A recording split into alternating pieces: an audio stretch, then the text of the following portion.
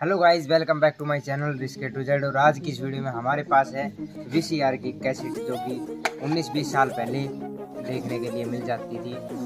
तो ये पहले चलती थी, अब नहीं चलती हैं। तो इनके अंदर जो रील होती है, वो देखते हैं गाइज़ कितने फुट की होती है, कितनी इनकी लंबाई होती है। तो गाइज़ सबसे पहले इनको हम खोलते हैं।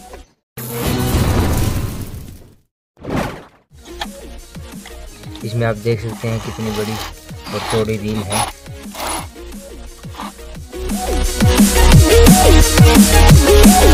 तो गाइज़ अभी हमने इसको खोल लिया है और इसके अंदर देख सकते हैं आप रील निकली है, जो कि एक चक्के में ज़्यादा है और एक में कम है। तो इसको अभी एक चक्के में करते हैं और फिर इसकी लंबाई को नापते हैं, देखते हैं। सिंपली गाइज़ जो दोनों चक्कों की रील है, उनको हमने एक चक्के में कर लिया है और अभी इसकी लंबाई को नापते हैं। इसकी लंबाई नापने के लिए हमें इस पेड़ की और उस पेड़ के बीच की जो लंबाई है, वो देखते हैं कितनी है और फिर उसके चारों तरफ़ से घुमाते हैं और फिर इसकी लंबाई का पता लगाते हैं।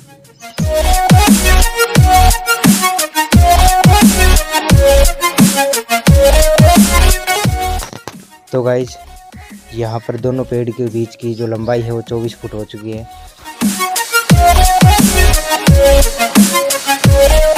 तो गाइज़ हमने इसका एक सिरा है, यहाँ पर बाँध दिया है। और दूसरा उस तरफ़ से घुमाते हुए इसकी लंबाई का पता लगाते हैं।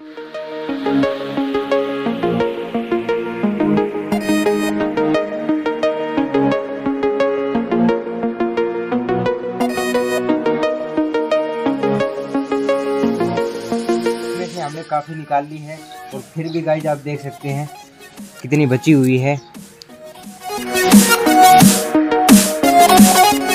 तो गाइज़ आखिरकार ये ख़त्म हो चुकी है। और इसके जो लास्ट में है, वो एकदम सफ़ेद पन्नी की तरह जो रील है, वो निकली। अभी जो है, इसके जो चक्कर कितने लगाए हैं, वो गिनते हैं और फिर इसकी लंबाई को देखते हैं। गाइज़ कितनी बनी है, कितनी नहीं।